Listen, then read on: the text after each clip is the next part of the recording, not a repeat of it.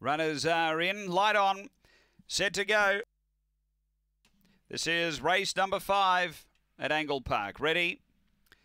And away. And Destiny Rocket out okay. It's working over early, but fighting the lead. Hubbity Bubbity.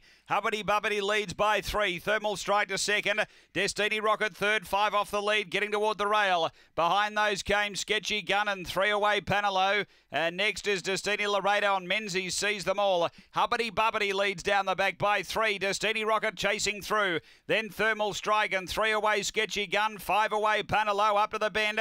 Leader is Hubbity Bubbity going for the rail and getting it. Destiny Rocket. Destiny Rocket took the front. Thermal Strike late. Destiny Rocket beats Thermal Strike. Third sketchy gun, fourth Hubbity Bubbity. Behind those Menzies, uh, then Panelo and uh, Steady Laredo back at the tail end. The run here, it's around uh, 35.6, 35.62. Uh, Destiny Rocket.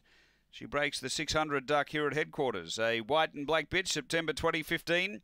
DJ's Octane, Miss Abilene, Tony, Tony Henriksen for the Riverwalk Syndicate, managed by